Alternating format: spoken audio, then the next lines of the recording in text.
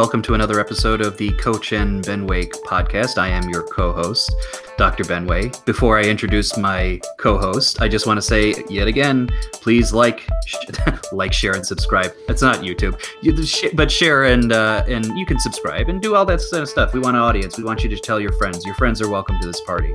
And this is a kind of a fun party. Uh, Coach, what's happening at this party? Well, today we're going to be talking about Woody Allen, and we're going to devote the whole podcast to the pictures of Woody Allen, and we're going to inevitably have to discuss a little bit about the private life of Woody Allen, considering some recent events that have happened.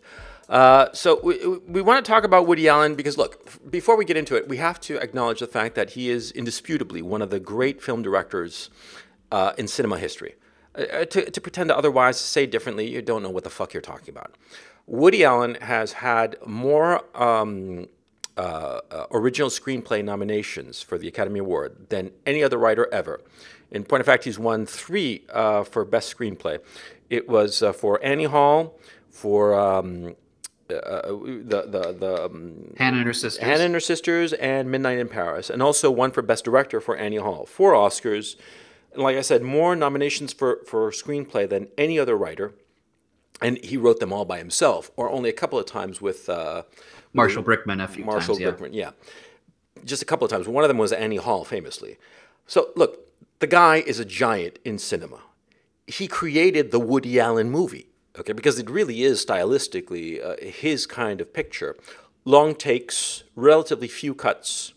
Uh, the camera, more often than not, positioned almost like he is uh, the camera is a guest at a cocktail party swiveling around to see what's going on as opposed to moving. There are relatively few camera moves in, in his scenes. Uh, and on the exteriors, there are lots of tracking shots and all the rest of it. But in, in terms of interiors, he just tends to pan.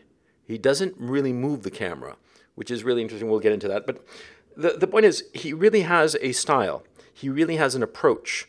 Francis Coppola famously is envious of his career because he said that Woody Allen is the only guy who has done the films that he wanted to do and, and nobody hassled him. He never had to go begging for money. He never had to um, compromise his work. He's always filmed the scripts that he wanted to film and he didn't have to change them for anybody and he got the cast that he wanted.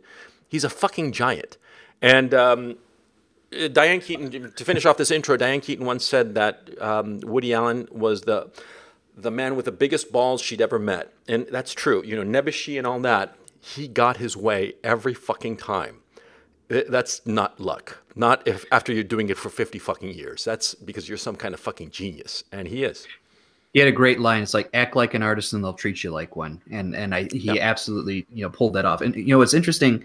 I've always known Woody Allen. It, it, it's funny. You know he's the good comparison point to me is like you know Clint Eastwood in that he's someone who's simultaneously an exceptional director and yet icon- an iconic actor as well. Like for Woody Allen is so iconic that if you put him in silhouette and just showed those glasses, you'd know who he yeah. is. It's, that's Woody Instantly. Allen. That's Instantly. how. That's how. How you know well put together and constructed that persona is. And and I know I mean I've been aware of Woody Allen you know since a little kid, but you know, when I really got into him was like around the time that I was uh, exiting high school, going into college, and yeah. around that time, you, it's like you you can notice and appreciate the wit of someone, and by that I don't just mean the co- the comedy, although that's clearly a piece of it, but just the way that someone goes about, you know, doing their thing, telling their story. It's like you know, this is my goal, I'm going to achieve it, and wow, that look how smoothly that guy kind of pulled it in. Yeah. And it, you know, there's no, in, in, and again, Clint Eastwood uh, seems like a great comparison because they both are like, you know, I'm going to do exactly what I need to do in the in the minimum way kind of possible, and you're still going to be very impressed. Yeah, exactly. So to go back a little bit to his career, because we both Ben and I really want to talk about his film career and the meat of it, and go into discussion of it. He started off at 16 as a joke writer for Sid Caesar, was it? Yeah, he was he was one of the and my, that round table of writers mm. is a fantastic crowd of people to be around, and Woody to be impressive, and he was like the youngest little kid compared yeah. to everybody else. Yeah, he was the youngest kid there at Sid Caesar's table. It, it, it, the guy who created Mash was there. Who else? I mean, there were like Neil several. Simon. Neil Simon. Um, uh, I'm I'm now gonna I got to look it up because this is yeah. you know impressive. Yeah, it, it was an impressive uh, group, and from there he evolved into a screenwriter, And uh, eventually, he directed his first picture in '66. It was "What's Up, Tiger Lily." Go to the IMDb page if you're listening to this. Uh, that way, there's a list of all his pictures. We're looking at the list of the pictures that he directed. Okay, not the ones that he wrote, because he wrote several, uh, and he acted in a whole bunch that he did not either write or direct. Uh, like, for instance, The Front uh, or Right. Scenes from a Mall. Um, those are the two pictures that I can recall offhand that he neither wrote or directed, but he acted in as pl- he basically played Woody Allen, you know, the nebbishy guy. Um, and here's the thing: he started out with uh, "What's Up, Tiger Lily," which um, then then he did "Take the Money and Run," "Bananas," uh, you know, everything you always want to know about sex, but were afraid to ask. This was in early '72, but the first true Woody Allen picture is generally acknowledged to be, and I would agree with this, is um, Annie Hall. Because before Annie Hall, he was doing funny pictures, comedies, like he did uh, a Sleeper, which was about some, it was about the future, and he was somebody had slept. He's it's basically Rip Van Winkle. He you know he falls asleep. He wakes up into a sort of totalitarian space, and yet he's you know it's making fun of Japanese flying packs and Marlon Brando on the waterfront and all kinds of shit. Yeah, and Love and Death was basically a parody of uh, uh, Ingmar Bergman pictures with uh, what's her name, uh, uh, Diane Keaton. Now, Yeah, and, and, a- and a paean, you know, and a pastiche of all of the great Russian literature kind of smooshed into one. I actually haven't seen them. You know, I, I have not seen his pre Annie Hall pictures. I just haven't gotten around to it uh, because Annie Hall is a terrific picture. And but go ahead, you want to talk about the early pictures first, the early funny I'll just, ones. I'll just, oh, yeah, the early funny ones. So that's a reference to for those who are in, in the know. Uh, one of his later movies, it's very self-aware Stardust Memories. You know, a- you know, it's like Woody Allen is visited by aliens in that movie, and they say you got to go back to making your early, you know, pictures. no, no, you know, no, no, particularly no, your no, early no. funny ones. No, no, no, it wasn't aliens. It was at a cocktail party. It was this uh, horrible woman at some cocktail party. He says, "Oh, I, I like your pictures, especially the early funny ones." Yeah, yeah, exactly. But here's the thing about those early funny ones: they're they're popular for a reason. They are legitimately funny. Uh, you know, the the. One of his peers, by the way, at uh, the Sid Caesar's Your Show of Shows was Mel Brooks. Oh, yeah, another Exactly. fucking giant. and yeah. and, and and Carl Reiner, the cre- the creator of the Dick Van Dyke Show, father of Rob Reiner, God help us all, but still funny man. no, yeah, You know, yeah. this is you know, so he, all of those kind of like Mel Brooks movies, like you know, we're gonna get all the gags in here we can, and it's gonna be you know slapstick sight gags and you know like movie references and sophisticated references to literature all thrown in. And it's like you know it, the ultimate it's the almost the ultimate jewish comedy which is pure irreverence. Nothing is you know sacred enough to not be made fun of. And i'm going to use all the techniques i can to get as many jokes in there as possible. Yeah, uh, he perfected that you know Yeah. and you know it, but you could tell as those movies progressed you know bananas which is it's just all gags. Mhm. and then things start to get a little bit more consolidated. Like you could tell he's trying to tell a story more. Sleeper has a coherent story in it. Mhm. and love and death similar to sleeper a coherent story from beginning to end uh, but also a reference to literature Mhm. and a reference to bergman's style of filmmaking. You could tell this is a guy who's like i want to make a serious film even though you know to, when i mean serious i don't mean no humor. I just simply mean i want people are going to recognize me as a guy who who's an artist who can tell Yeah. a fucking story who's going to be impressive and annie hall is sort of like the, here i am this is exactly what i want to do unmolested by any kind of expectations Yeah, what's interesting about Annie Hall is uh, the the script developed in a completely different way. It was originally supposed to be a murder mystery, and it was uh, uh, around the Christopher Walken character. I, I forget the details of the plot, but that was the original idea that it was going to be a murder mystery, and um, uh, and somebody got murdered. I forget how. Uh, I forget the details of it. It's not really important. But the material started getting modified more and more by uh, by um, Brickman and um, and Woody Allen as they worked on it, and finally it became Annie Hall, this uh, sort of like the sine qua non of the serious romantic comedy, which of course it unlike any comedy, it doesn't you know there's there's no happy end. On the contrary, they they break apart. It didn't work out. It's about a failed relationship. That's what the the movie is about. And by the way, the, the issue is always noticed that, and if you don't know it, you should know it, that Annie Hall, the name uh, comes from Diane Keaton. Because uh, her middle name, I do believe, is Annie, and her uh, uh, mother's last name was Hall. That's that's where the name came from, and Correct. it was it was filmed after his relationship with Diane Keaton had ended. Uh, so that's that's that, there's a lot of uh, autobiographical stuff going on there. But the key issue artistically is that and and why Annie Hall works so well is because of Gordon Willis, the cinematographer. Gordon Willis, who shot The Godfather, The Conversation, Godfather Part Two, The Paper Chase. I mean, he's just a fucking god of, of uh, cinematography. He was the one who worked with um, with with Woody Allen on Annie Hall, and um, the relationship was very much like Orson Welles and Michael Toland in in Citizen Kane. And what was interesting was that they both pushed each other in ways that were unanticipated by both of them. Uh, uh, specifically, for instance, uh, one of the things that Woody Allen wanted to do was he wanted to have his characters walk around and, and, and come out in the other end of the camera, like walk around the camera and come out the other end. And Gordon Willis was like, "Well, I've never seen that done before, but you know, why not? You can do it. Why not?" Right? And and that approach was key to creating this notion of the camera is a person witnessing what's going on because that's something really key and i really want to emphasize this in, in this conversation that, that people don't re- realize the certain techniques that work so effectively in woody allen pictures that are so simple yet so subtle that you don't realize it it's like the spielberg oner you know what i mean well it's also, and, and on top of that almost like just from the way you're telling a story he takes an idea which you know, it, it isn't too, you know, too outlandish, but then he builds on it and makes it something more interesting. Yeah. Case in point, the in Annie Hall, fourth wall gets broken quite a number of times. Woody addresses the audience right at the beginning. He says, you know, famous yeah. line. It's like, adopt the Groucho Marx attitude of I don't want to be part of a club that would have me as a member.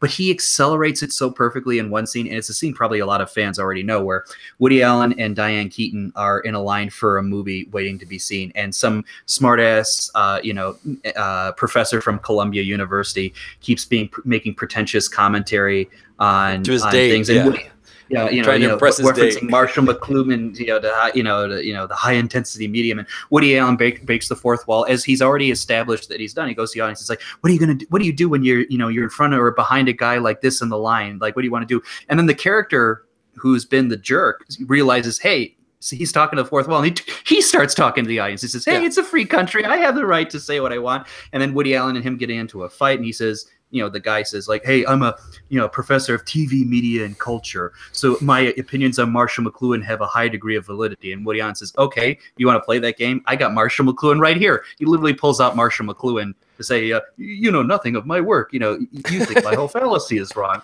How you became a, how you had a chance to teach class at, at a university is amazing." And Woody Allen turns to the audience. He says, "Oh, wouldn't it be great if life were like this?" Yeah. It basically so you basically saw what happened there. It's like you're breaking the fourth wall, but like let's push a little further. Let's push a little further. Let's push a little further. Yeah. And then you just create this, you know, memorable scene that was like if you just, you know, were to pitch that cold to someone who had never experienced that, like what the fuck are you doing? Who the fuck are you? What are you talking about? No, There's yeah. a confidence to get there. Yes, it, it's exactly a confidence that it's not merely breaking the fourth wall, like you said, it's building on it. You know, okay, we broke the fourth wall. Okay, that's surprising. But then here's something that's really going to surprise you. He pulls up Marshall McLuhan, uh, you know, and and, and and Marshall McLuhan, um, you know, BTFO's the guy, and and yeah, and, and the thing is, see, what I think is key is the end, the end of that gag. Okay, because everything you say, I totally supported. But the end of the gag, what does he say? If only life were like that, right? But, Exactly. but what does that mean? It's basically he is grabbing you by the throat and saying, "You've experienced this too, right?" Because this this happens to me, and I was lucky enough that I could get Marshall McLuhan, but you have that thing too. It's that shared humanity. That's the Right. subtle and, and indisputable power of Woody Allen. But because in every one of his pictures, there's always this humanity to an understanding of the weaknesses and foibles of the characters, an understanding, more, moreover, that those weaknesses and foibles are the weaknesses and foibles of the audience. Yes. And, and, and that is something rare because it seems obvious and easy, but you got to stop and think about it. Oh, shit. uh, sorry about that. A uh, little uh, accident here. You got to stop and think about it. It's it's actually very very hard to pull off, and Woody Allen pulls it off like a bunch of different fucking times. Yeah, it's, it's extraordinary. And, and it, it's it's you can't dismiss the fact that this is a guy who's very literate, very well read, who could you know who has had those experiences of you know appreciating other people. And you see what what's interesting about him is funny enough, he stars in a lot of his movies. All right, so you immediately say, "What the fucking ego on this guy?"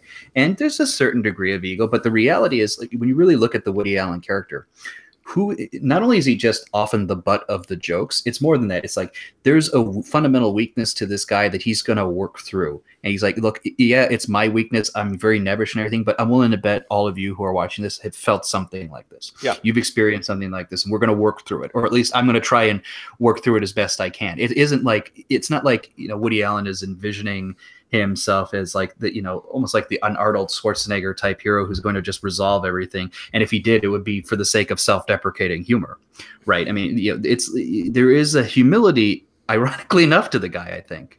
Yeah, I agree. Uh, there's something else going on. Um, well, it, it, look, the qualities of the guy are indisputable.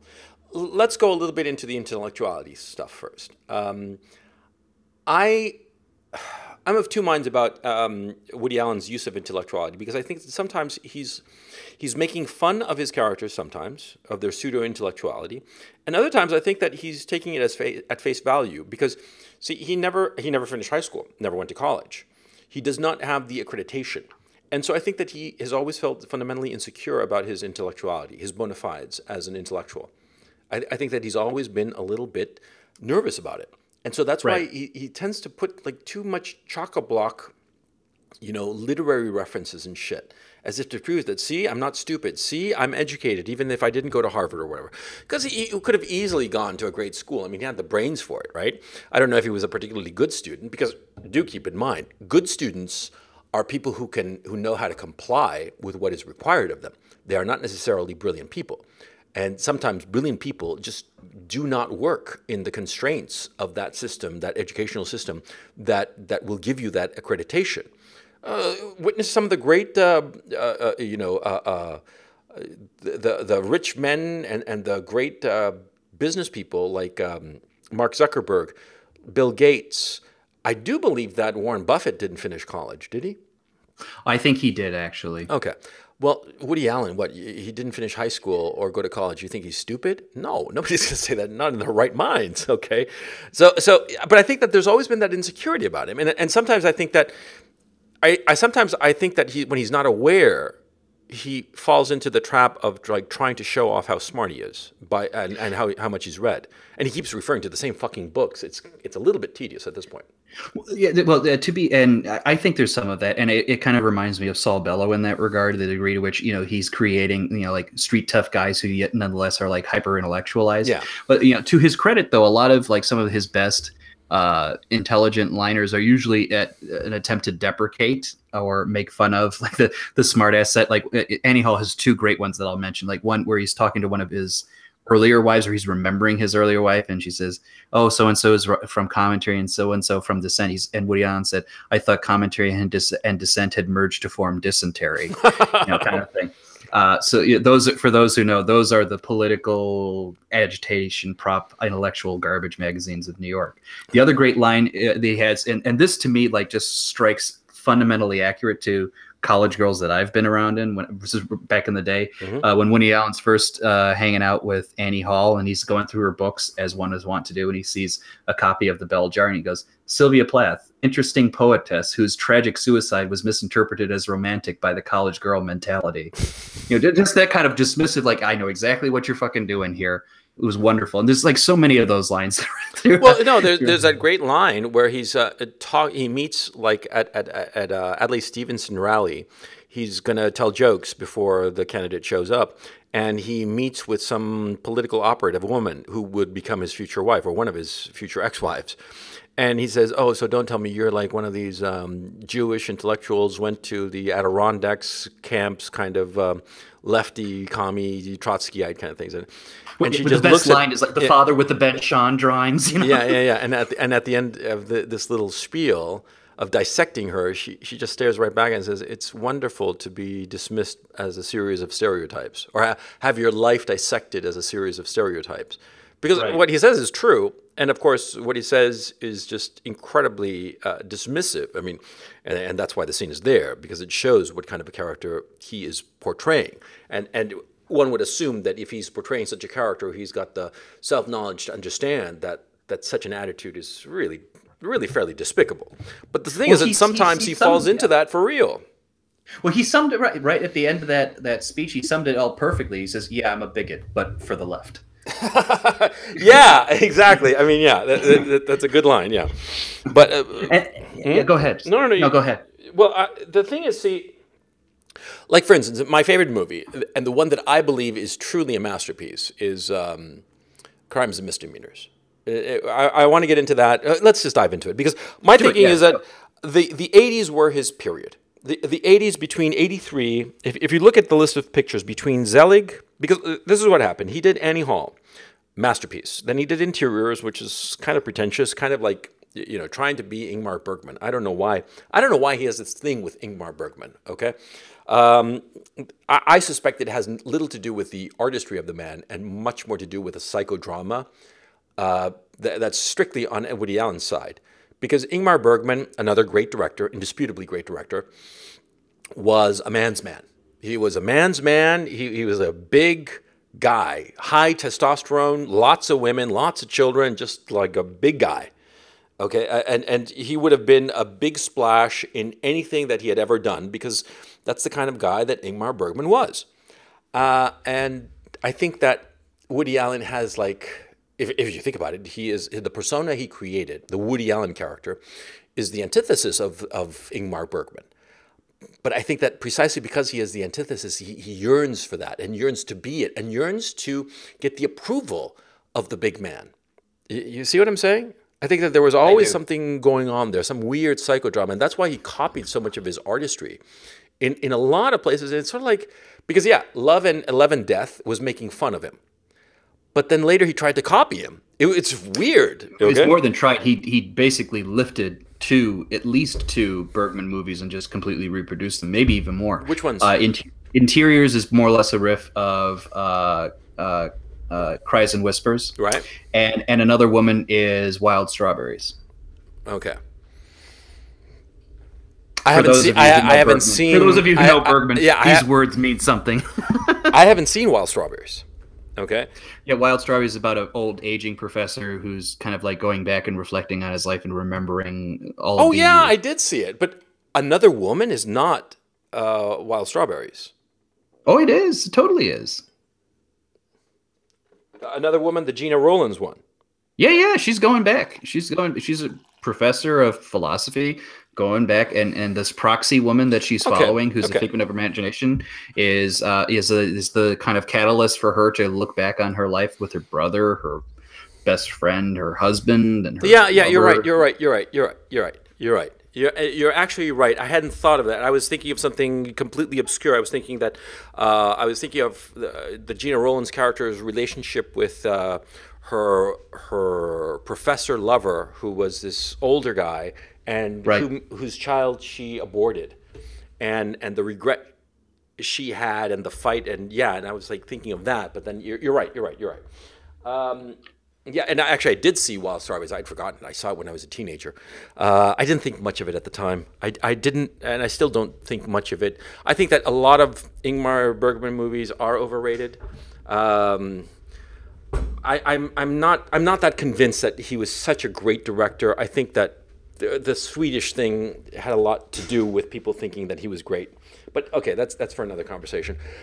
Insofar as Woody Allen is concerned, though, the 80s were his peak to me because he had a series of pictures. Okay, Manhattan was the first properly 80s picture, and that is a fucking great picture. I mean, good God. Manhattan is just, oh, I love it. It's mm-hmm. beautifully shot.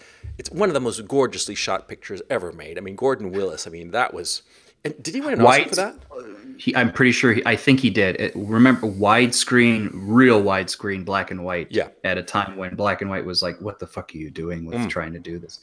Yeah. And uh, and yeah, the, I think Woody Allen was because there was a there was a whole string after that of people saying, "Oh, now black and white is something special to do." Well, it's, It was- it's it actually. I'm, I'm looking at the at the year. It was actually '79, and what came right after Manhattan?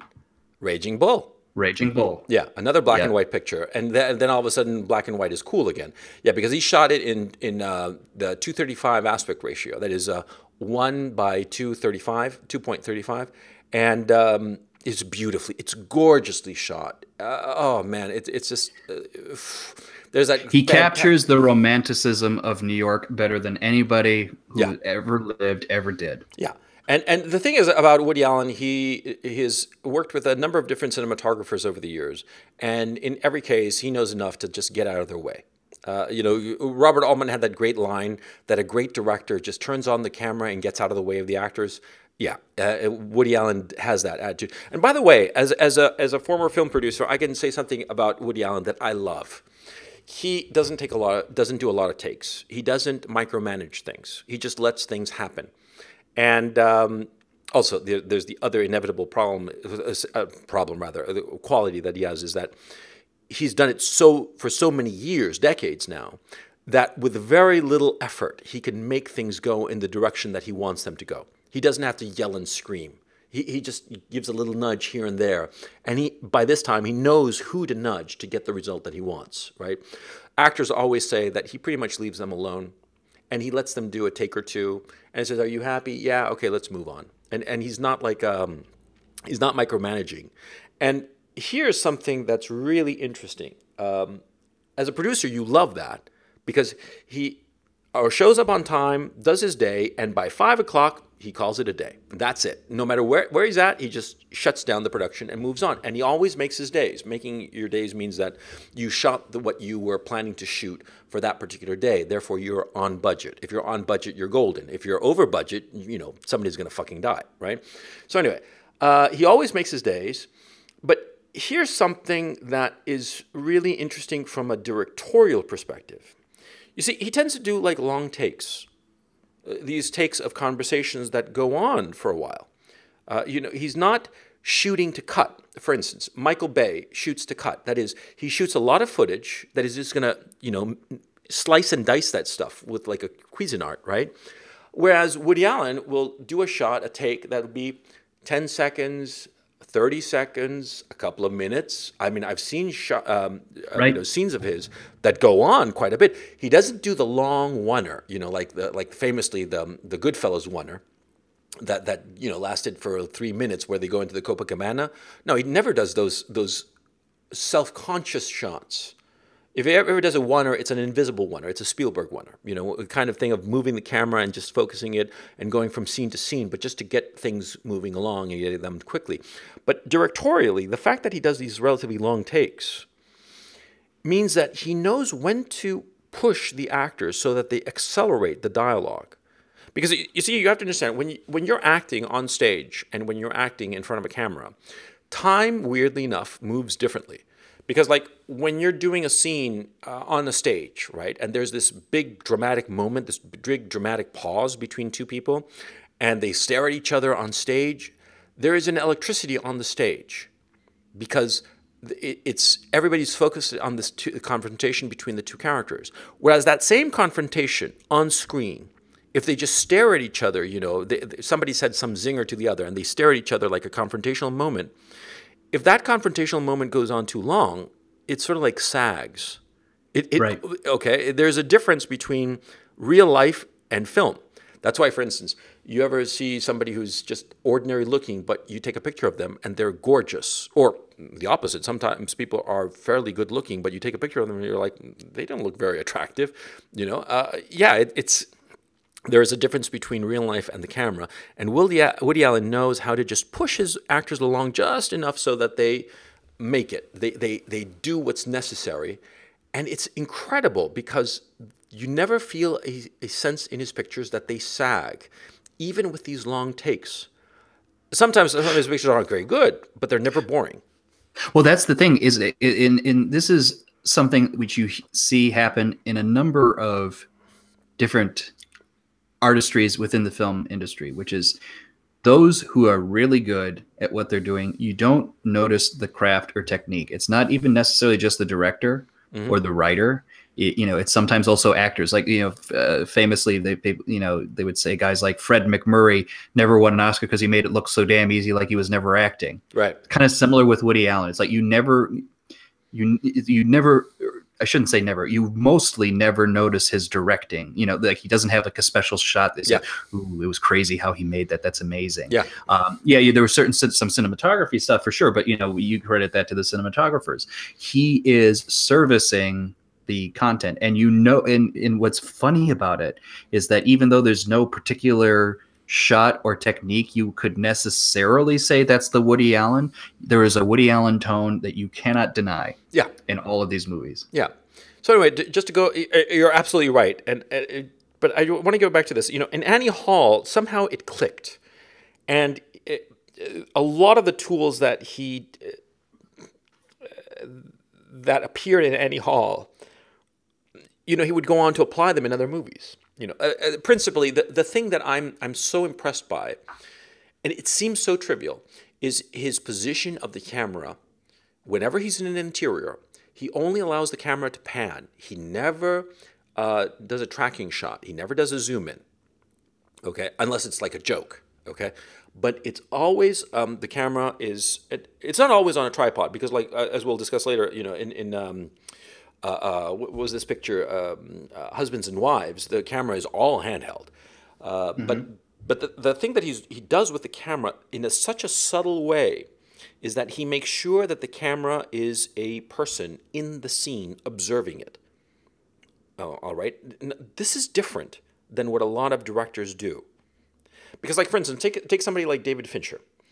Uh, David Fincher, he believes truly that there is such a thing as an objective camera that there is, you know, there, there are only two possibilities and the other one is wrong.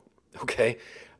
Now, this is very important insofar as David Fincher's uh, attitude towards films because he, he believes in a God-like perspective, the omniscient perspective that has captured the perfect perspective. All right? Now, now that's an artistic decision, an artistic approach. Uh, nobody's here to say that that's a bad approach or not. It's just his approach. And, and you see it all the time in the way that he shoots, the way he will have his camera track the actor as he moves. Even when he moves and tilts his head, he will follow along. Okay? That, that kind of attitude, that, that kind of approach to, uh, to, to, to, uh, to the camera movement, right? Uh, that's Fincher. But what Woody Allen is doing is that he's usually, usually, he's using a, it looks like a 35 to 50 millimeter lens which is the, the lenses that closest approach what an actual human eye can perceive, the, the field of vision that it can perceive. And um, he usually has it at eye level, and he has the camera panning, that is, moving from side to side as, as if like a neck that turns from side to side. But mm-hmm. the camera does not move. Now, that makes you feel that you're there, that you're very inserted into the scene that's going on. He's not cutting like a close up of one person and a close up of the other one. By the way, that's the other reason why his films are so cheap, because he's not doing a lot of close ups. And because he's not doing a lot of close ups, uh, you know, he's doing these, uh, what other directors would say, master shots, right? What they're doing, what he's doing rather, is that he's becoming very efficient. He can cover a lot of pages in relatively little amount of film time, of, of filming days. I mean, his pictures, uh, from what I understand, they usually take like between three weeks and six weeks to uh, finish, which is fast for the kind of material that he's doing.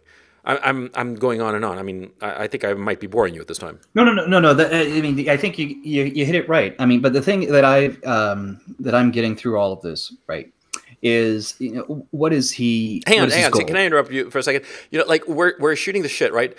Uh, we're, we're doing the podcast, right? But we're doing it like bowling. And, and like you and I have discussed this. I'm going to leave this into the podcast, by the way.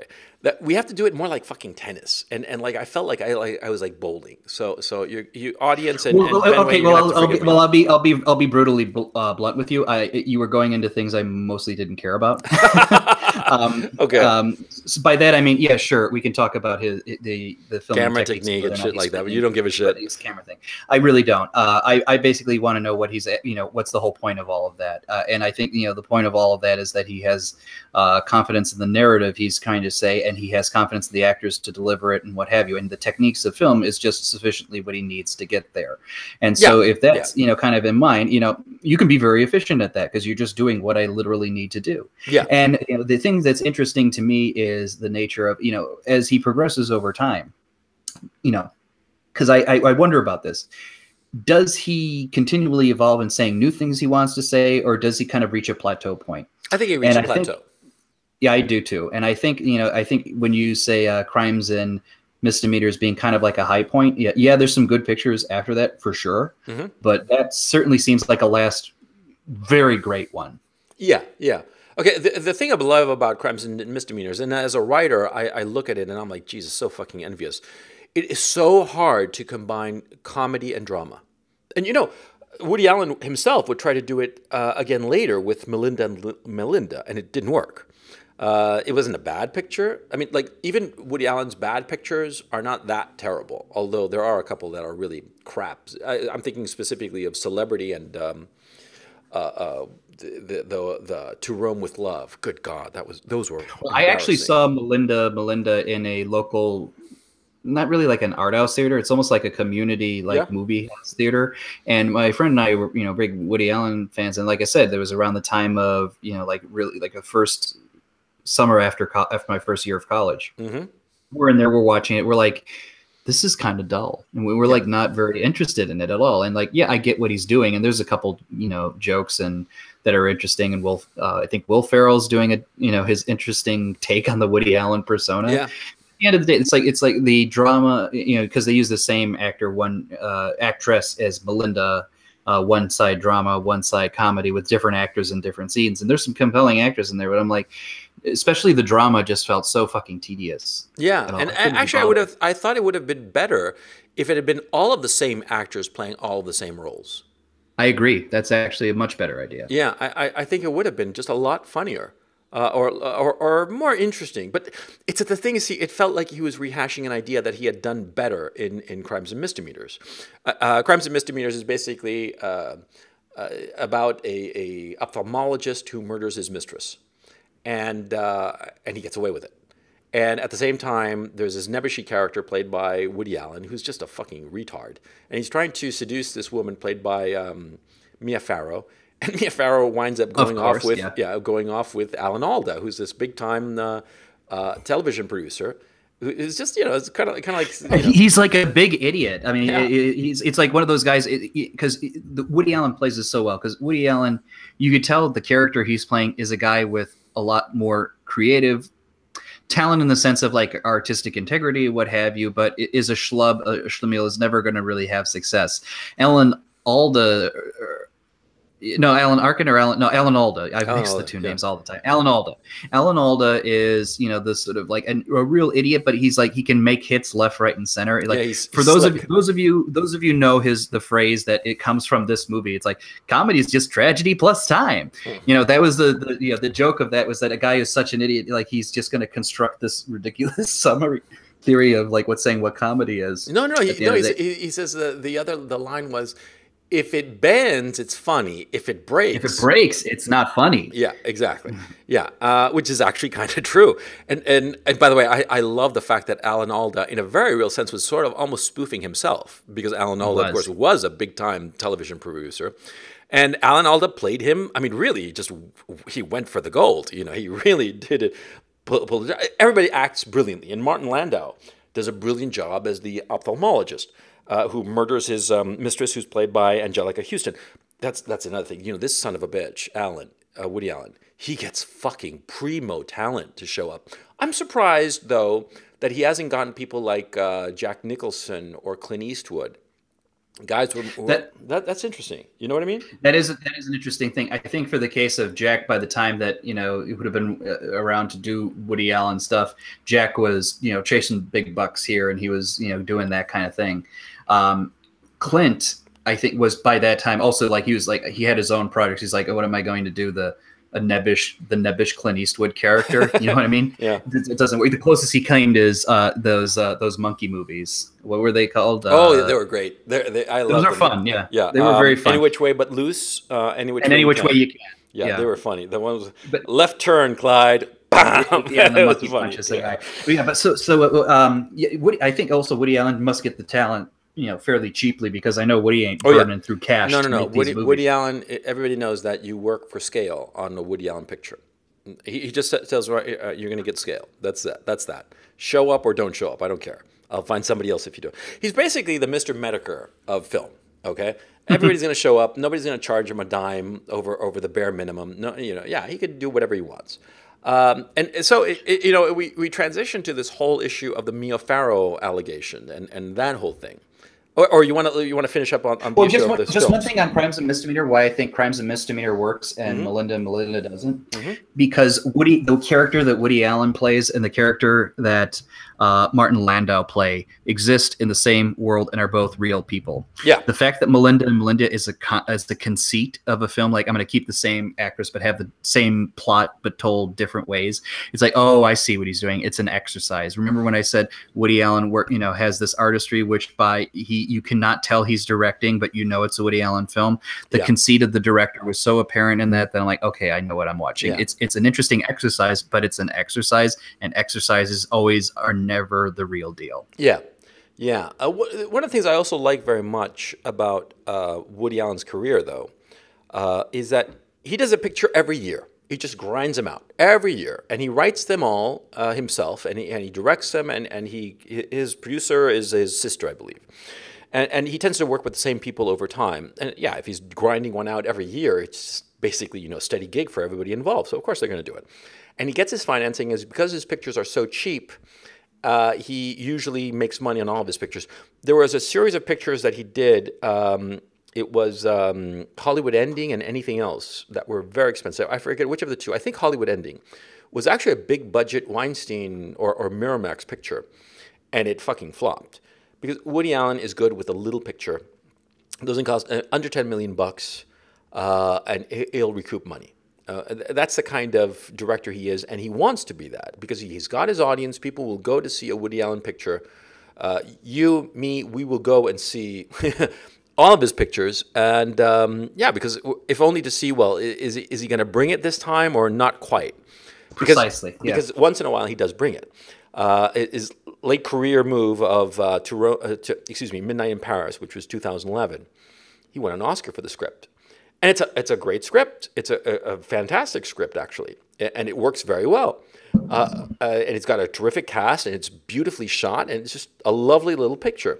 Um, I think his last great picture, though was not in the primo category of Annie Hall, Manhattan, Crimes and Misdemeanors, is Match Point.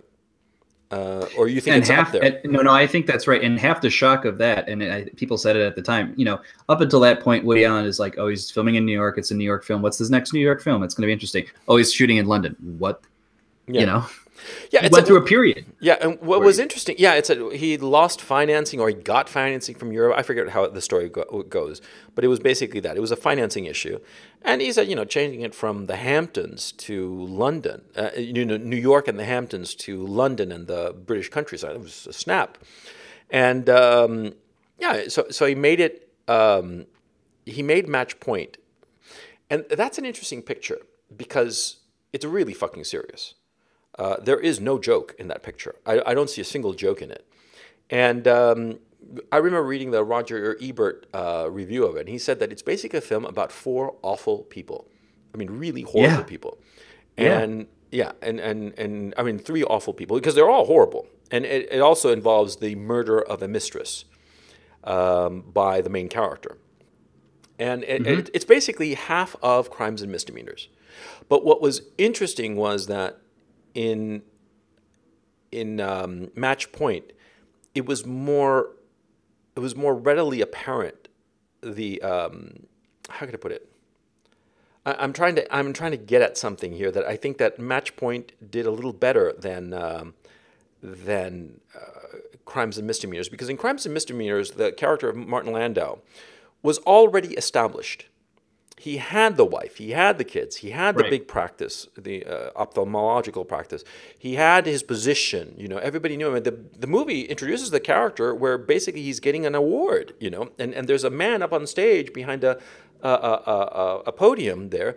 Singing his praises. He's already a man who is established. Whereas Match Point was much more interesting because it was a young man who had not yet established himself, who was trying to he was in the process of it and who was committing a fatal mistake and he knew he was committing a fatal mistake by being involved with this woman you know and, and that's yeah, more interesting to me Exactly. Jonathan, the Jonathan Rhys Meyers character is the, you know, it, like Barry Lyndon, he's he's ascending the ladder, Yeah. right? And so, and what's interesting also is that the, the big difference between the characters, the Martin Landau character in Crimes and Misdemeanors, his whole arc is about I have done something wrong uh, out of immediate fear and wanted to resolve it quickly, and then oh, I, I feel this guilt and I'm ready to break from it, and then he realizes oh, I can I can live with it, it's fine. Jonathan Rhys Meyers, it's much more tactical almost, which is I, I'm making a cold calculation. I'm the question of feeling guilty about this isn't entirely my main concern right now. yeah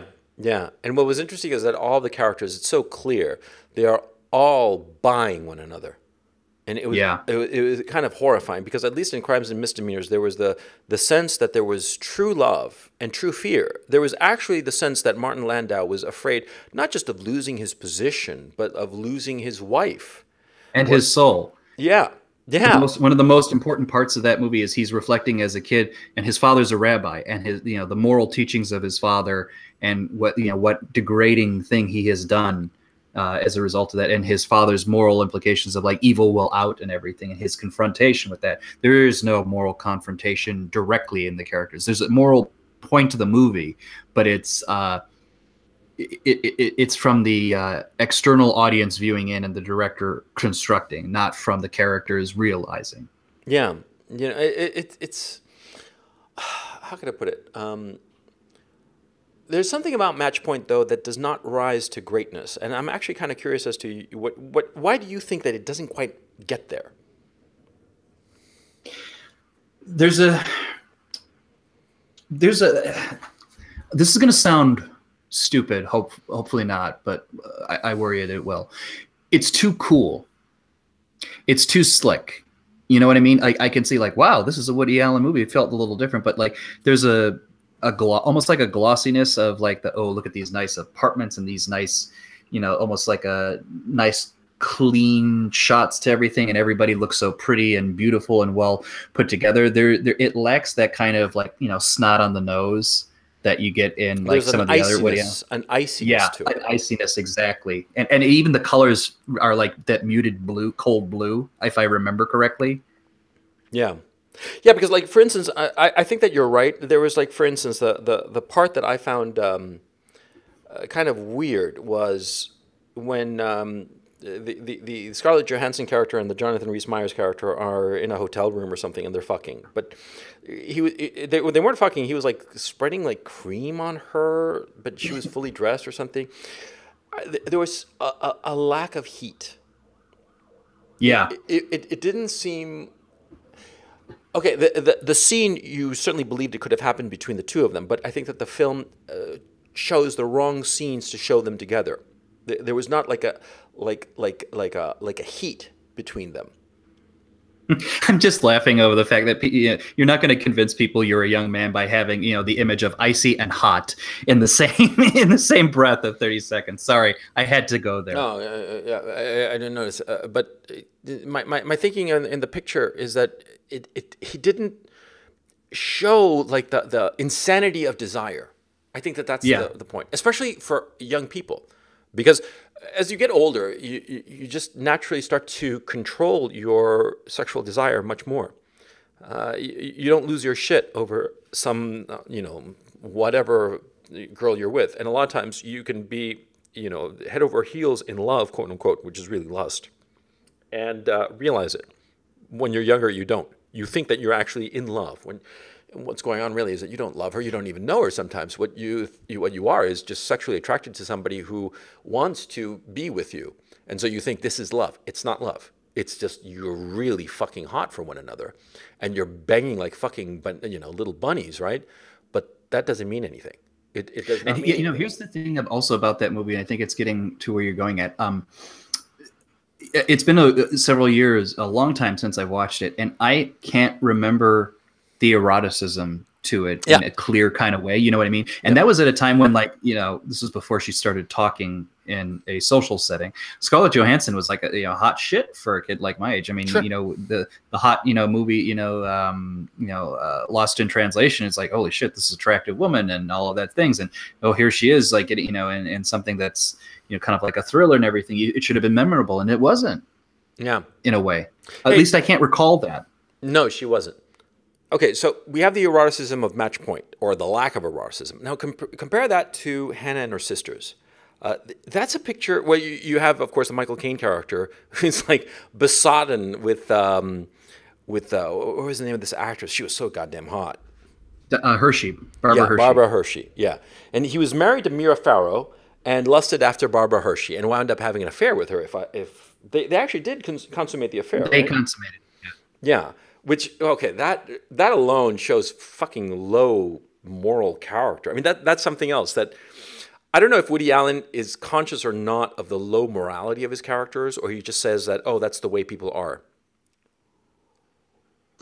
I mean, I think he he's it's both, right? I think he could recognize that it, it- it's a thing that's troubling because it certainly troubles the characters, but I think he would also recognize that that's the motivation that people have, so that's why I'm depicting it. Mm. Yeah, well, Because that- remember, because remember, the the uh, the Michael Caine character in Hannah and her sisters does feel guilty about it. He wants to almost like out it and and whatnot, but he still lusts after you know Barbara Hershey. And you know, it's it's funny in that it's I remember those erotic moments, if not, but at least or at least the courting of it, and you know, like how he wants to tell her that he loves her, and he's uh you know recommending like E. E. Cummings poems, and uh, just you know randomly it's like you know you know, he thinks to himself in a voiceover, it's like, I'll just go over there and tell her I have feelings for her and she'll understand. and, you know, this, and he's structuring it. And as soon as she's like, in comes into the camera shot, he just grabs her and kisses her. Yeah. You know, that kind of thing. yeah, but um, yeah, okay. Hannah and her sisters is is like on a, on the one hand like a Shaggy dog story, it, it because it's got like just a bundle of shit that's going on in in in the movie, and I I remember watching it when it came out. I enjoyed it very much. I thought it was a very funny movie uh, because it is very funny. I thought as I got older, I thought I, I started thinking of it very seriously and realizing also that it it does happen that you start falling in love with people who are in your immediate family and are completely inappropriate, uh, or your immediate family or immediate social circle, uh, because you, what happens is that proximity and and getting to know somebody over time, you start to realize their qualities, and sometimes it is the case that you realize that the person you're with is not as cool as this other person that would be completely inappropriate for you to be with. You know, like a like the, the sister of your woman or the best friend of your woman or something like that. Precisely, yes. And and it's it's a very troubling thing. I wish he'd explored that tragedy a little bit more. He was making a comedy. But it is a tragic situation. It is a tragic situation when you realize that you married the wrong sister. You know, I, I- think that that ultimately, if it, if it had been more realistic, it would have been about that. He married the wrong sister because she was just, you know, this uh, mother to everybody. And by the way, I always had the feeling that Hannah and her sisters was him realizing that he didn't really want to be with Mia Farrow.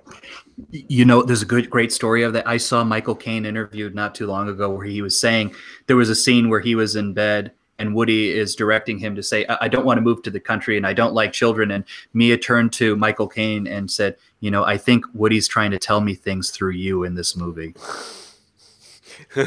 yeah, yeah, I, I would not be. So, uh, so in other words, you, you, it's spot on. You're, that observation is, seems to be spot on. I had never heard of that anecdote, and I would not be surprised because, uh, well, let's transition to this whole Mia Farrow thing. Um, a lot of people are wondering now in this whole Me Too movement why all these actors would consistently work with me, with uh, Woody Allen ever since the allegations came to light in 1992, I believe it was. Well, because everybody in Hollywood knows that Mia Farrow is out of her fucking mind. She's fucking nuts. I mean, nuts, nuts, right? And she has the public persona of being like this Earth Mother, but she's crazy. I mean, she's really fucking crazy, right? And well, it's coming out with this whole uh, Moses Farrow um, uh, blog post then he talks about how two of the of his of her adopted children committed suicide, you know, and and how she abused them horribly, horrifically for decades. Jesus, it, it, sounds like a fucking family out of a fucking, you know, V.C. Andrews novel for crying out loud. Well, you and I had the talk about like, you know, there's a certain kind of woman, it, it could be a person too, but it's more often a woman who treats kids as either like toys or pets. Yeah. Yeah. And, and, and that's and, that's that case. And, and here's the thing, like I told you in that conversation, uh, you, you never know until she's had the kid. You, you can't predict it it, it's something you, you will never know if a mother, if a woman is going to be a good mother until she has actually had the kid. I, look, I, I've seen it all. I've seen women who were like these party girls and what have you, and got pregnant and didn't want to have the kid. They had the kid, and all of a sudden they just changed and they were just like the kid and everything else could you know go out the fucking window and there are other women who were like the nice girls who were like all fine and they wanted to have a family and talked about having a big family they had the kid and all of a sudden they're like, oh, screw the kid, leave him with the nanny or the grandparents or whoever the fuck I want to go out and party.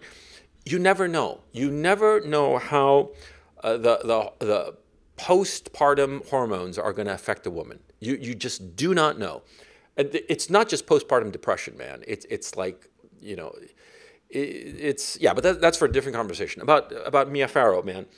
She's just fucking nuts. And she treated everybody like shit you know and this is and and we and I, I told you this as well and you probably already knew it like she's one who has held grudges about relationships in the past remember she used to be the the main squeeze wife of frank sinatra yeah and you know around the time that she made rosemary's baby they got divorced and i if you ever watch like or listen to like bob evans or any of the people who were producing that film talk about mia farrow and how she was using the success of that movie to like really stick it to Frank. Mm. Have a little fun at that. See what kind of person Mia Farrow is. She's she's a horrible person, and so to believe that she made up the story is, is in my mind, perfectly reasonable. I don't know if I've, I've told in the podcast the story of my sister, uh, uh, who thinks that you know she went ice skating. I, I, oh, you got to tell that story. I don't think you told it. Okay, well, I'll tell the story re- real br- briefly. And this is a true story. My my sister's like seven years younger than me, and one time years ago, I mean decades ago, she was. Uh, she was what? She was about four years old, five years old, and she very badly wanted to go ice skating with us. It was a group of us, uh, me and some cousins, and she was way too small. But she whined and cried and tantrum, you know, like a five-year-old would usually do.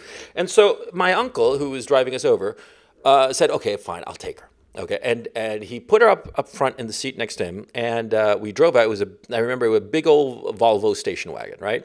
It was a bunch of us, a gaggle of kids, and we got to the um, to the um, ice skating rink, and my sister had fallen asleep. So my uncle did, of course, he picked her up and, and just carried her along. She was five years old, little girl, and we all went skating. We were there for an hour or two, or whatever. And um, you know, at the end of the the afternoon or whatever, we were going back um, to the house, and my um, and my sister on the drive back woke up. Okay, and she said, "Are we there yet?" And my uncle, to tease her, you know, just just you know, very innocently, he said, "Yes, of course, we're coming back." And you ice skated so incredibly, and the way you ice skated backwards, and how you did pirouettes and all the rest of it, and and my sister was like, "Yeah, yeah, yeah," and she convinced herself. Okay, now, he, here's the crazy thing. I mean, we all laughed at this at the time. Uh, we, and we egged her on. We kept on telling her, yeah, this happened, you know. And you, you, you know, skated faster than all of us and all, all kinds of crazy ass stories about her. And here's the thing my uh, sister is a 44 year old woman. Um, you know, grown woman with children of her own and all the rest of it. And she says that to this day, uh, she has vivid, vivid memories of her ice skating faster than all of us and doing all kinds of pirouettes and, and like, you know, skating backwards and all the rest of it. She has these incredibly vivid memories, but here's the catch. You see, she never learned to ice skate. That hmm. is how suggestible a child can be. Because my sister, and she finds it funny because it is funny. It's a very innocent story. And, and my uncle, who's passed away, and you know, may rest in peace. You know, uh, it's it's one of our fondest memories of our uncle because he, he pulled this one on on my sister, and she says that she sees it. She has these incredibly vivid memories of this event. And she knows for a fact that they never happened because she never learned to ice skate. She cannot to this day. She, she wouldn't bother because, you know, she's going to make a fool of herself, right? So uh, that's how suggestible people's memories can be. A child can easily, you can easily convince them of anything. And I've seen it. I have uh, toddlers of my own now. You, you tell them a story enough times, they believe it. They believe whatever you tell them to because their imaginations, their minds are plastic. They are malleable. And so to to the the Dylan Farrow situation that she believes that she's she was molested by Woody Allen, I have no doubt in my mind that she truly believes this and that she sees it in her own head. And I also have no doubt in my mind that it never happened. That it was just exactly. Yeah, I, I believe this uh, uh because the thing is, it's not that I believe this because I think that Woody Allen is such a great guy. I think it's a little bit creepy that he went and fucked um, his uh, girlfriend's 19 year old daughter, although within the realms of the understandable, you know, because you're always going for younger, tighter, hotter. That's normal. But it, it's kind Precisely, of like, yeah. you know, what we were talking about before that sometimes, you know, uh, the, the, the person in your family that you're attracted to might not be the most appropriate. And by the way, this ties back into Hannah and her sisters. Perhaps even at that time, he was kind of lusting after you know, Soon-Yi or, or whatever, or maybe somebody else in the family. Who knows? Who knows what was going on there? I don't really want to know. But I have no doubt that he did not molest this child as she claims, and as Mia Farrow insists he did. Well, and then, like I've always said this before, and you know, we could debate what the meaning of it behind it is, but it, you know, it, it seems odd that the you know that he this little girl that he went after or what have you is still the wife that he still has. He's still married to Soon-Yi. He's been married to her and been with her longer than any other person on the fucking planet. Yeah. You know, it, there's a there's a chance, right, that you know maybe it's as as as innocent as it superficially looks. Who knows? I mean, we're, we're never going to know. You don't know. Yeah, you don't I, know. I don't, don't really, know. like I said, I don't really want to know. The fact that they've been together for going on 30 years now, well, it's 26 years uh, uh, okay, that that and, and and there are all kinds of accusations that she's retarded and blah blah blah, and she's not. Apparently, she has like, you know, she's got degrees, a higher education, and what have you. But look, the the the Moses Farrow stuff that's come out, basically this long blog, blog post saying that Mia Farrow is crazy. Well, this is pretty much common knowledge in Hollywood. Everybody knew that she's fucking nuts. Um, the issue becomes, how can I put this? this Me Too movement, it glorifies uh, self victimization. And I think that it's just going to go from, you know, it's, go- it's going to get worse, a lot worse, before people sort of like, you know, pull out of this death spiral. Really, because before people pull out. Oh God! I'm sorry, I had to go there. I'm a 12 year old. yeah, but you you know what I'm saying, right? I know exactly what you're saying, and it's funny enough. I think I had told you right at the beginning uh, when the Me Too stuff was happening, uh, right around the time when Harvey Weinstein was first getting accused, and like a few other things. Woody Allen himself said, "You know, watch out. This thing's going to turn into a witch hunt." Yeah, yeah. Well, uh, what's his name? Harvey Weinstein, as we are recording this, surrendered to the to the New York prosecutor's office or something. You know, he did, yeah. Yeah, he's going to get charged and, and like the whole thing. You know, uh, that's not going to end well. I mean, Harvey Weinstein, man, he, he didn't play his cards smart. Okay, uh, when the, when this shit started breaking, look, it was the recording. You know that that recording of, of I know him, exactly. Uh, and it, you know, the worst part about that recording wasn't that you know this was an aggressive guy who was going to get what he wanted. The worst part of that recording is how whiny and pleading, let's be honest, how pleading. Jewish he was. It no, was a Jewish I, I don't know Come about on, that. you want to grab my you know, my thing, and the, the thing it's it's always like Jerry Lewis was doing it. don't you want to grab the thing with the duty? And it's oh, lady, don't lady. Yeah, it, it, it, was just whiny and pleading and kind of pathetic. Uh, yeah, I, I uh, yeah, you know, I mean, Harvey Weinstein. also, Harvey Weinstein was a fucking cocksucker. I mean, like, like, a, like, yeah. in terms of business, he was an asshole. And well, that's did, why he I wouldn't, think he wouldn't pay his writers. He did all kinds of nasty shit, right? Uh, you really had to threaten him to get uh, the things that you were owed from him. Okay, so he's getting his comeuppance. Fine, I could give a fucking flying. Well, that's the thing. That's why I think for him it was so aggressive because it's like you know we all remembered when you tried to fuck us over in yeah. some capacity, independent of the you know the sexual allegations, and so now is the chance for us to do as, what, unto you, you as you're falling, which we've wanted to do or we're afraid to. Yeah, exactly. I think a lot of people just ganged up and they're like, oh, this is going to be fucking great. But yeah, he, he, was a fool. You know, he was a fool with this, with this also. And also, well, I think we talked about the other day the Morgan Freeman shit, but that, that seems to be blowing over quickly because it seems just so paltry.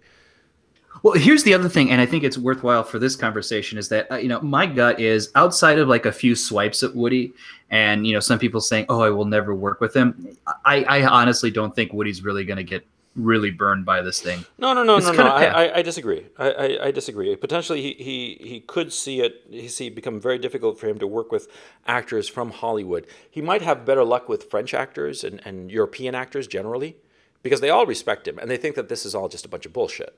Okay, I mean, objectively, it is bullshit. it, it is complete and utter bullshit and you start like uh, like making a scorecard of you know you believe Mia or Woody, and and just on the facts of their lives, you, you start like um, you know adding things up, and and Woody comes out the much better for it because he's just worried about making his pictures. He doesn't give a shit about anything else, and he's married to this woman for twenty odd years, you know, um, the Soon-Yi, and whereas uh, Mia Farrow is just this fucking nightmare, you know.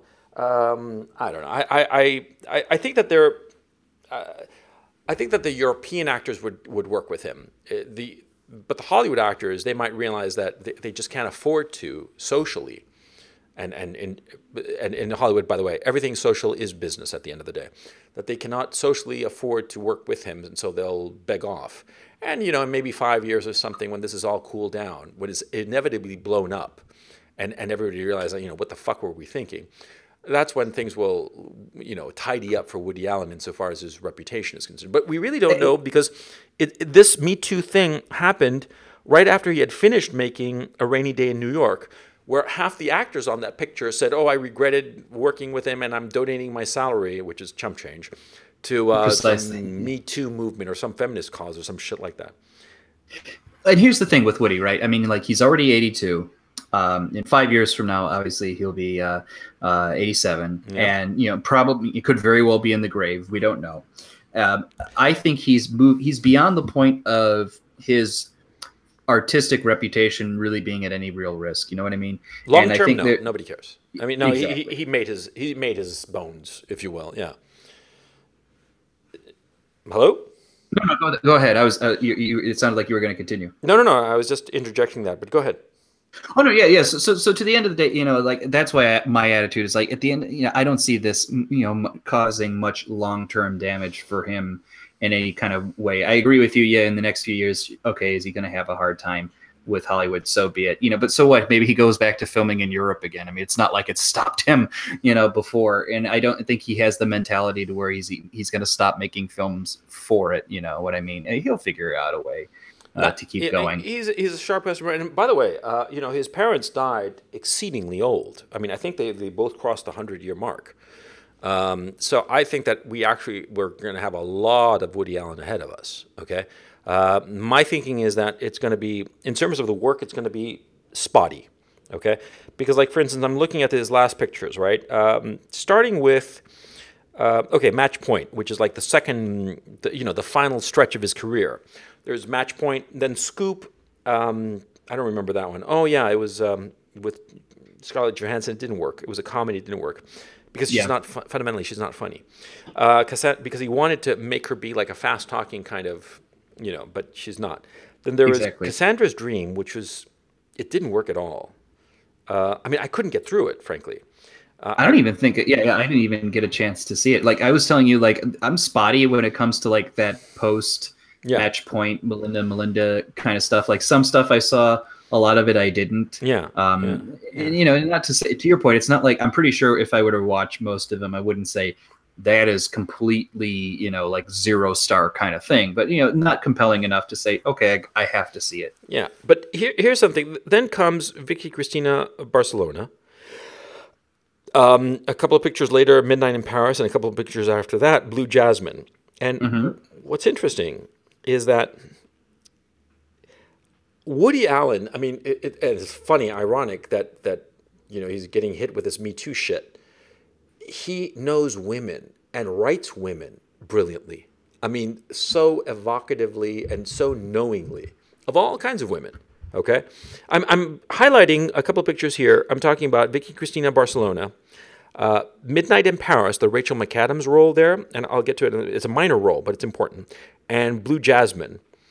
Um, think also how many how, think of how many women he's gotten to you know Oscar statues as well. I mean, oh, for legitimately good roles. Yeah. ridiculous. Yeah, even in like lesser of his films, they will win. Well, okay. So Diane Keaton, right, for for um, Annie Hall, she got an Oscar for it, right? Mm-hmm. Yeah. Okay. So Dianne Wiest twice for Bullets Over Broadway and Hannah and Her Sisters. Um, uh, what's her name? Uh, Blue Jasmine chick. What's her name?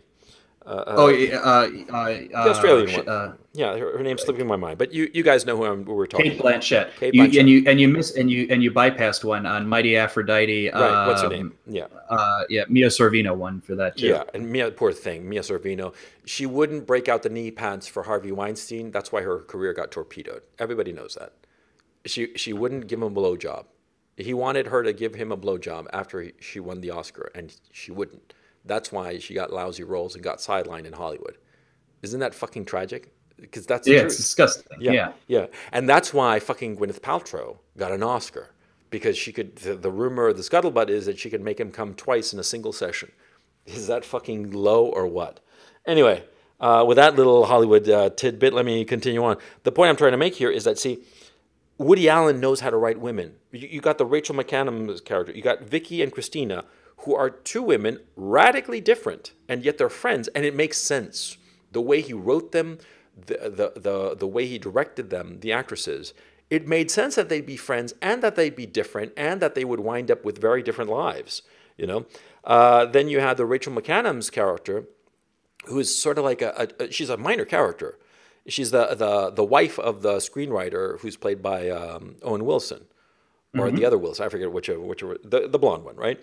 And It's Owen. Yeah. yeah, and and she um and and and she's written in a way that you you ma- it makes sense that she'd be hot for the Michael Sheen character, okay, who's also a minor minor character, uh, and then you know Jasmine in Blue Jasmine, the the Cate, Cate Blanchett um, character, who's just she's having a nervous breakdown. She's falling apart. That's what's going on here. Uh, the the only thing I thought about that movie was mis, miscasting of Peter Sarsgaard as the boyfriend. He was too young for her, or he looked too young. It should have been somebody else, somebody older looking, somebody like not quite Frank Langella. Well, I, Frank Langella passed away, I believe, but um, No, you're shitting me. I did not know this. I'm Sorry, I, I, I, I really hope that's not true. I, I, I thought that he did. Let me confirm or deny. Yeah, he did. He's still alive. Oh, okay. I'm sorry. Sorry, Frank. You know, if you're listening, Jesus Christ, man! You gave us a scare. sorry. No, no, no. Sorry, sorry. I, I, I read his That's book, by the way. It was, it was very funny. It- oh yeah, and, uh, it dropped names. It, Yeah, I, it- it's, yeah, it was an amusing odd book. recommendation for a podcast, but yeah, that's a really good book. Yeah, it, it's fun, you know. And, and he talks. He basically, it's the stories he's been dining out on. You can tell, and they're funny stories. And and they're, they're he's talking about people he knows, and he, he's sort of like being a little bit indiscreet. But there's something about him that you're like, ah, it's fine, you know.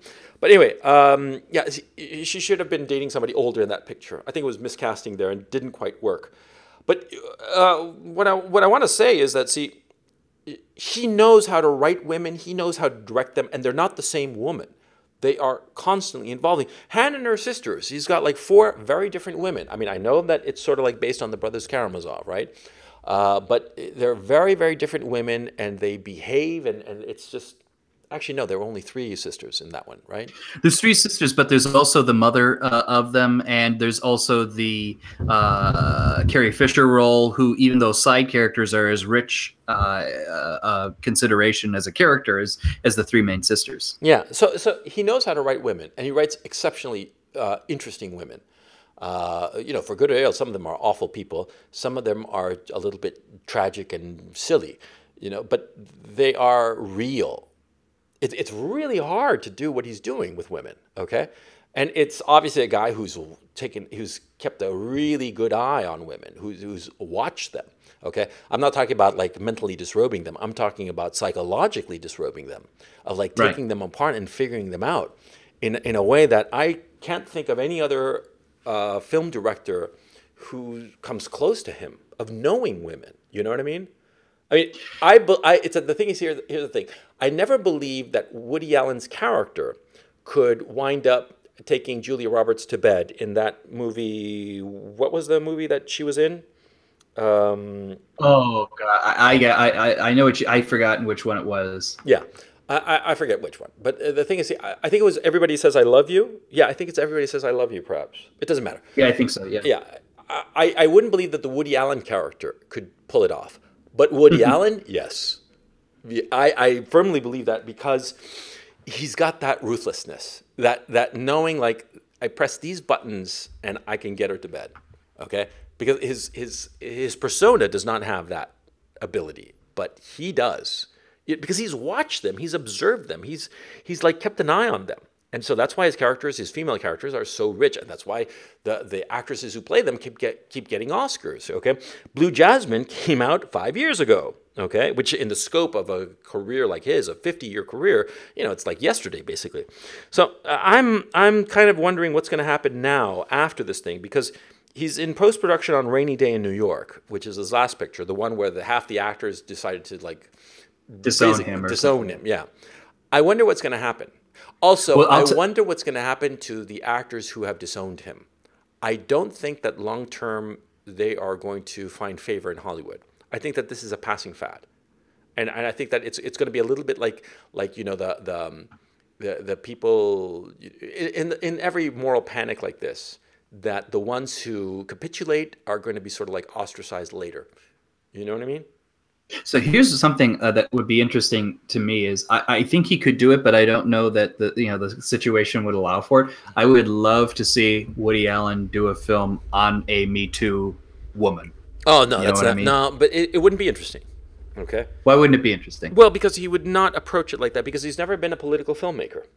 no, no, no, no. It's not about politics, but the kind of woman who gets herself into a sort of, um, you know, accusatory position. Mm-hmm you know, it doesn't have to be like, oh, you know, I here's the proxy for Harvey Weinstein. Let me tell you about the relationship between the you know the sexes in terms of you know sloganeering. But the idea of like you know like um like Philip Roth did in uh, I Married a Communist or The Human Stain, mm-hmm. right, where he is examining the type of mentality or the character who would make make use of accusations against a, uh, another man or not another man uh, a man is it's a woman making the accusations that i think he could do and i think he could do very interestingly it's that he, he's not good at that or let me phrase it he doesn't want to do political films like think about as I said, I don't think I don't think it's I don't. I, my interpretation is that you know once you do it right, you, you the poli- the politics goes away very quickly.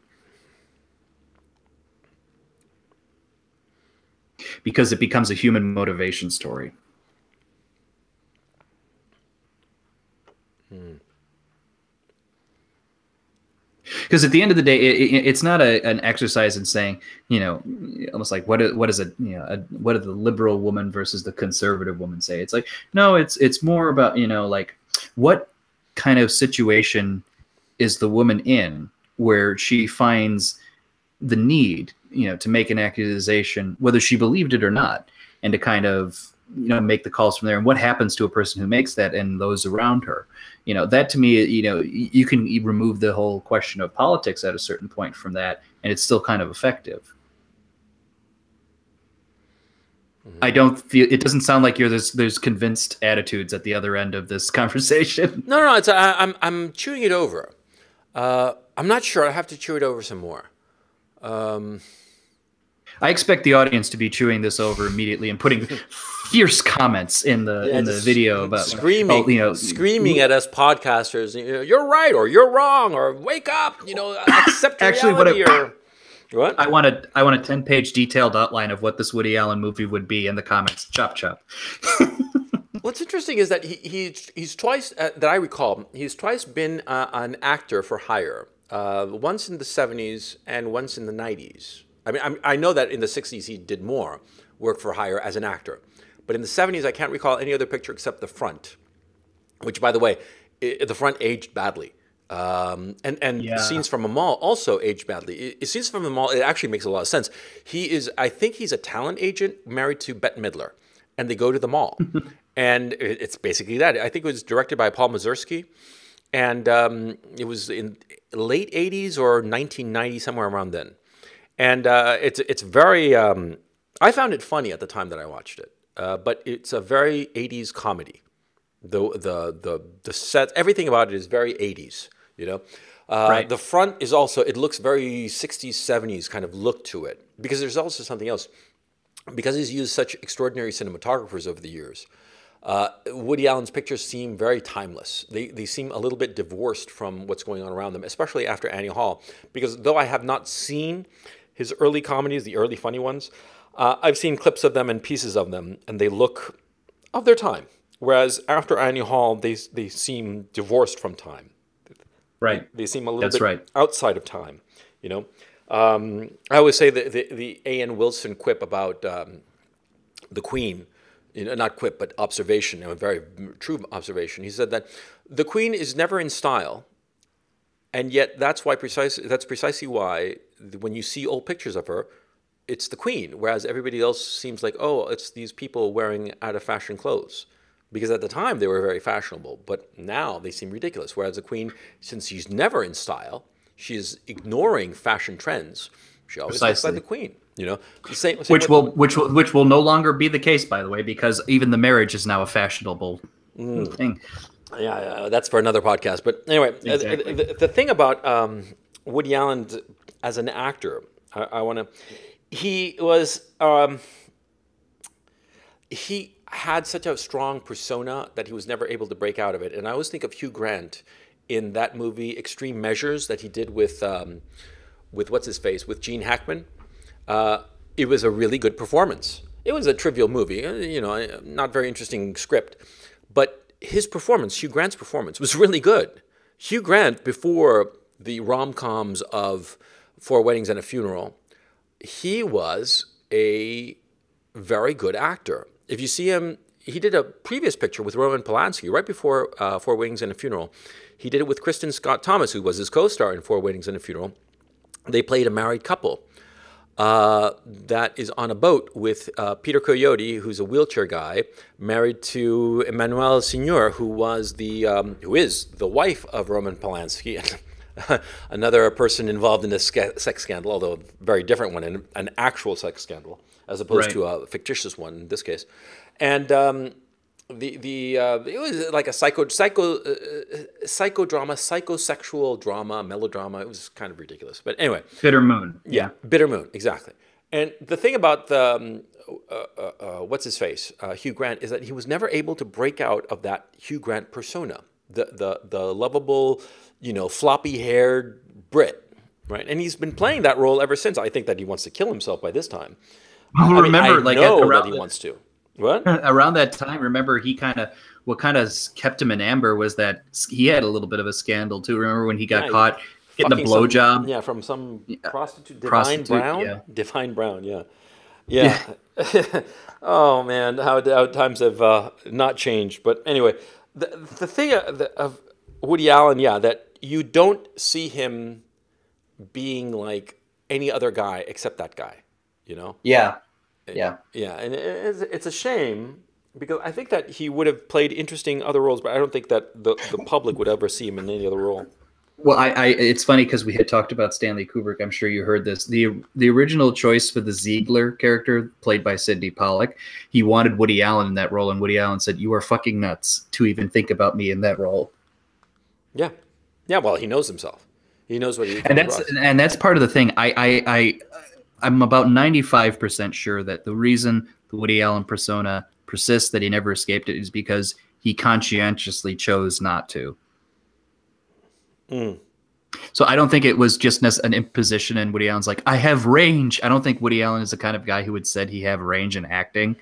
You know what I mean? I think he knows what part he can play and he plays it. And it, and I think the fact that he was a stand-up comedian as well, which you are performing, you have a persona, Mhm. and that front, you know, it's hard to escape that. Like, for example, it's no surprise that you know the Seinfeld show, Jerry Seinfeld is just playing Jerry Seinfeld, Right. and he's never not been Jerry Seinfeld. Yeah. Same thing with all of the stand-up comedians who get a, you know, their um They're their their time in the spotlight, their show, even if they do ingenious, crazy things. Like I did think Seinfeld was ingenious, but not nearly as ingenious as Garry Shandling and the Larry Sanders Show. Yeah. It's still Garry Shandling at the end of the day. His persona, his humor, and whatnot.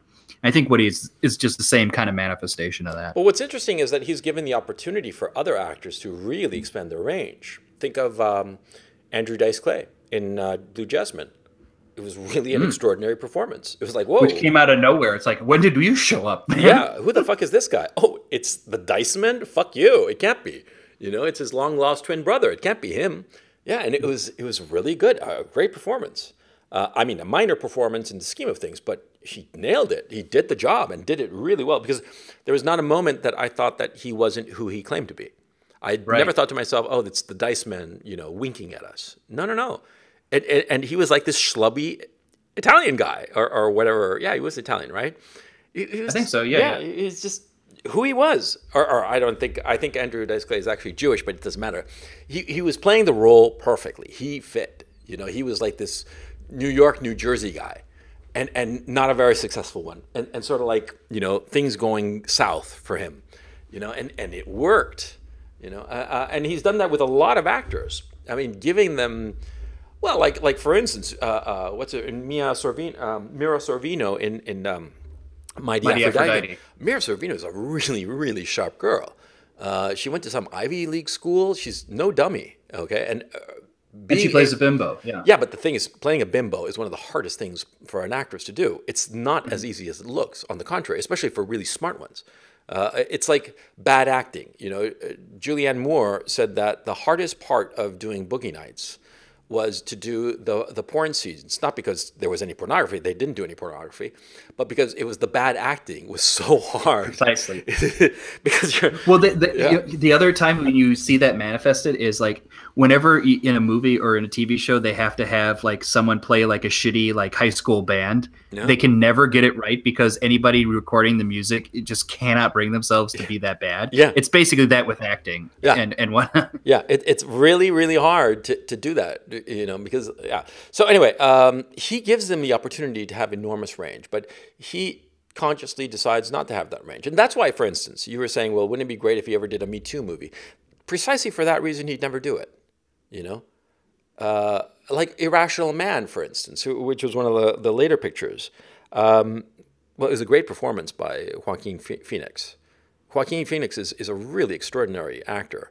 I mean, I, th- I think that he's, people aren't giving him enough credit for what a great a- actor he is.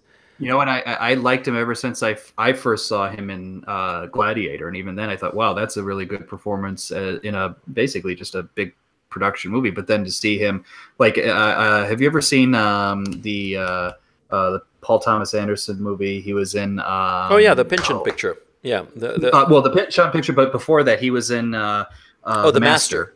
I haven't yeah. seen the Ma- Master. Oh, you got to go see it. I know, I know, it. I have to, but it, there, there's something about it. It's a, look, Paul Thomas Anderson is just a try hard. That's the thing that bothers me about him, and I'm a little bit sick of him.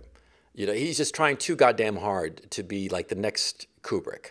Okay, he wants so hard for this uh, artistic glorification, and I, I, I kind of like react to that because that, that's another thing about Woody Allen that I really appreciate. He was never pretentious. He's not striving for the big accolades. He gets them, but he's not. That's not his aim. He doesn't even show up to get the awards either. that too. But the thing is, he he is genuinely trying to make pictures that he enjoys making and that are genuinely funny or genuinely. Uh, I mean, he cares about making good work. He doesn't care about people's opinion of him. Yes. Okay. Precisely. And that's a different mentality. I mean, uh, Paul Thomas Anderson, great director, sure. Okay, let me phrase that. Technically, he's a great director. I I am thinking less and less of him as the years go on. I saw Phantom Thread. You see it yet? I have it on my shelf. I haven't watched it yet. Uh, You're yeah, not going to recommend it. no, I'm not going to recommend it at all. You know, I mean, yeah, it, it, it's it's it's very well crafted. He he was his own cinematographer, and he did a very good job. It's beautifully shot, beautifully lit, uh, great performances. Yeah, yeah, yeah. But it's just trying too fucking hard. It, he, it's just boring. It's annoying. Okay, because he's not aiming to to deliver he's he's using the work not as an end in itself, but as a means to an end, mm. and an, a means to his own aggrandizement as an individual. That's very different. I hear what I, I, hear. I can see that. I can hear yeah. what you're saying there. And that that's and that's and that's because that's I think fundamentally why you know the whole question you know that always going to comes up uh, who's who's going to last you know 100 years from now who's still going to be watched i don't think there's ever been a moment in my life where I thought, yeah, these Woody Allen movies, they're they're not going to stand the test. Oh, of time. no, I think, no, it, yeah, they're, they're, they're, they're, the staying power has been proven. Oh yeah. Right. I think he could come out of, go out of fashion for a period of time. Oh yeah. Precisely for the reasons we've been talking about. Long term, no damage. No damage. This No, is the no. this is the goods. These are the real goods. Yeah, because I mean, you look at a picture like Manhattan, and like, sure, they're driving '70s cars and '70s clothes and all the rest of it, and feels '70s, right? It doesn't feel like a period piece. It feels like you know, but um, but it works. And here's here's what's interesting. You know, you compare uh, Manhattan to Stardust Memories, which is actually kind of like Manhattan Redo, and uh, it doesn't quite work. It, it feels of its Right. time. It doesn't quite deliver. It, it doesn't transcend itself, transcends its period and transcend the, the, the, the, the, the point in time in which it was made, whereas Manhattan does. So there are certain pieces of work that he has done that do transcend. Annie Hall, Manhattan, Crimes and Misdemeanors, uh, Hannah and Her Sisters. I think uh, Radio Days and, I mean, the, like the second tier work, because that that we just mentioned, that was the top tier work. Annie Hall, Manhattan, Crimes and Misdemeanors, um, Hannah and Her Sisters. Which other one would be top tier? Uh, I think the ones you, you listed are probably would be the. I, I wouldn't really. I don't know that I'd add any more. Yeah, like second tier that are like not minor Woody Allen pictures, but you know, second tier would be for me. It would be like um, Radio Days, Another Woman. Yep. Yep. Yep. Yeah. Hus- I would have. husband- I, uh, Purple Rose of Cairo. Husbands and Wives, Yep. uh, Bullets Over Broadway. Mm-hmm. Yeah, I'd say that, and and and, Match and the ones we were kind of talking about, Yeah. Match Point, Midnight in Paris, that kind of stuff. Yeah. Yeah, yeah, Th- th- that's uh, Vicky There's Cristina there's a- Barcelona. There's a, good- there's a good. There's a good deep crop of solid films. Yeah, and The his- second tier, as you'd Yeah, say. and the real bottom of the barrel. You know, if you want to get like that, it would be To Rome with Love, Celebrity, and um, anything else. I'd say Melinda, Melinda, Melinda for me. I, I that goes to the bottom. No, it's that it was it was a failure, but it was not a disaster. Celebrity and and To Rome with Love, that was fucking disasters. That was just fucking embarrassing. Okay, I remember watching uh, To Rome with Love in a, a theater in Germany, and I was like embarrassed. I was like, "What the fuck is this shit?" You know, it was just like really bad Woody Allen, just bad, bad. You know, um, yeah, I, I was embarrassed by it. And uh, Celebrity, yeah, I remember seeing that uh, with um, Woody, uh, with what's his name, uh, Kenneth Branagh pretending to be Woody Allen. Because it's also funny. There's like a whole subgenre of performances of actors who are hired by Woody Allen to pretend to be Woody Allen, which is fucking weird. Kenneth. Well, that's a good question. Who do, Will- who do you think did the Who do you think gave the best Woody Allen performance? Who wasn't Woody Allen? Uh, It's an exercise you could take. Yeah, I don't know. I mean, I, I, I couldn't qualify that, but like Owen Wilson, Kenneth Branagh, uh, Will Ferrell, who else? yep. Who else played the the? I would argue that uh, Michael Caine in Hannah and Her Sisters played the Woody Allen Yes. character. He did. He did. Funny enough, because Woody Allen is in the movie too. Yeah, that, that's kind of weird. Um, yeah, but which, which other? um, No, I think those are the big ones. Those are the ones that uh, that come to mind. Because the other people I would think of who are in Woody Allen movies are not playing Woody Allen parts. Yeah, and uh, yeah, I'm looking at the list. Deconstructing Harry is basically uh, Woody Allen pretending to be Philip Roth, and yeah, that that's pretty interesting. Uh, because what's interesting to me, I think, is that as an artist, at some point he wanted to be a writer. I mean, let me phrase it: he has written, he's written a lot, and he's been published by New Yorker. He, he's a, you know. But I think that at some point he must have wanted to be a serious writer, like a novelist. And I think that retros- retrospectively he must think to himself, "No, I made the right choice." And and I think that deconstructing Harry in a weird way is kind of like a kiss off to uh, fiction writers. You know, I- it, it, I don't know. It, it's, I'm pure No, no, speculation. know whether whether they're whether they're kiss off to fiction writers, I think that was his decision. That I'm, I, me, Woody Allen made the right choice. yeah, You know, Yeah. Whether other people are great authors, God bless them, go and do their thing. But I made what's good for me. yeah, exactly right. I, I think that that's the the vibe. Okay, so yeah, so I think this is a good concluding point to end on, which is basically this. I think you- you're hearing from us consistently. You know, this is a guy who brought the goods to the table. Yeah. This is genuine love you got from Yeah. both of the people here. Yeah. And are there some sour spots? Yeah. This is some interesting personal life shit that you know, you know, potentially gets in the way. Not yet. Yes and no. Not really. You know, um, but at the end of the day, there's you know, you are going to get from this guy uh, richness, not just in characters, but also in like just how a film really should get made, even without the eccentricities and excesses that you know you may ordinarily look for. It's like you know, this is like honest to god, like base level critical craftsmanship you got here. So my my attitude was always like, yeah, hey, you've probably seen a few of those films. Go, you know, go watch more. There's no reason not to. And this is the other thing about Woody Allen, which is always great. He's never really, I can't recall, made a film over like two hours. Maybe Yeah. once or twice. No, no, no. I don't think he's made a picture over two hours. But no, I think that the lesson to be drawn about from Woody Allen, rather, is that he was cl- very clear as to what he wanted to achieve because he wanted to be a film director who wrote his own scripts and who could hire whomever he wanted. It was a very clear goal, and at a relatively young age, at 40, he accomplished that goal with uh, Woody Allen. That was basically his point of departure, where whereby he could do whatever picture he wanted, and he would get the cast, he would get the financing, he would do his picture and nobody else's. And that goal that he set himself, he achieved it. And from there, he just continued to create a body of work that is eminently respectable. Uh, I don't care what your name is or, or who you are, nobody can look down on his body of work because it is, it is something real. And there are great directors who envy him, envy the career that he built for himself. Okay. And it's because uh, uh, Francis Coppola famously, because he was just consistent. Every year he would do his script and shoot his movie and cut his movie and release it and he'd go on to the next one. He never he never lingered over his pictures. He never like went on and on about like, oh, you know, I did this great picture and so forth and so on. No, no, no. He just kept on going. And that that kind of attitude of like a shark never stopping, right? Because, you know, the idea being that the shark if it stops it dies. I think that that's something really applicable in life in general. And I think that he he's just somebody admirable, somebody that I can really take seriously. You know what I mean? Agree. You know, yeah. What Woody Allen is not is a dead shark. no, no, no. And like I said, I think that he's going to be around a lot longer. I mean, I think that yeah, he's in his 80s, 82 at, at this time, I believe. I think that he's going to be around a lot longer, and I'm really looking forward to seeing his pictures because even the shitty ones are kind of good. Even the the ones that are not top tier, they're interesting. And when he manages to crack out, you know, a, a relatively high end picture like he has in the not too distant past, it's sort of like, wow, you know, the old guy still got it. You know, you, you got to appreciate that and admire that. And I certainly do. And so I guess with that, we'll sign off. So, Dr. Benway, why don't you take us out?